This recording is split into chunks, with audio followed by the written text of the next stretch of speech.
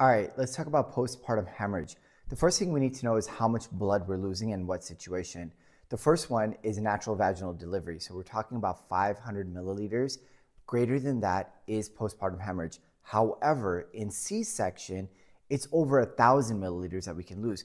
If we're hemorrhaging, look for signs and symptoms of hypovolemia. So look for that hypotension, tachycardia, anxiety, shortness of breath, that hemodynamic instability. Four reasons why this happens. First one, tone. Second, tissue.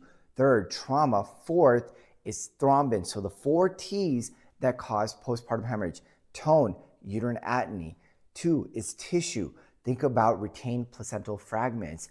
Three is trauma. Look for a laceration, especially a natural uh, vaginal delivery, a hematoma, or even a uterine rupture. And last is that thrombin. Think about DIC or think about uh, coagulopathies as well too.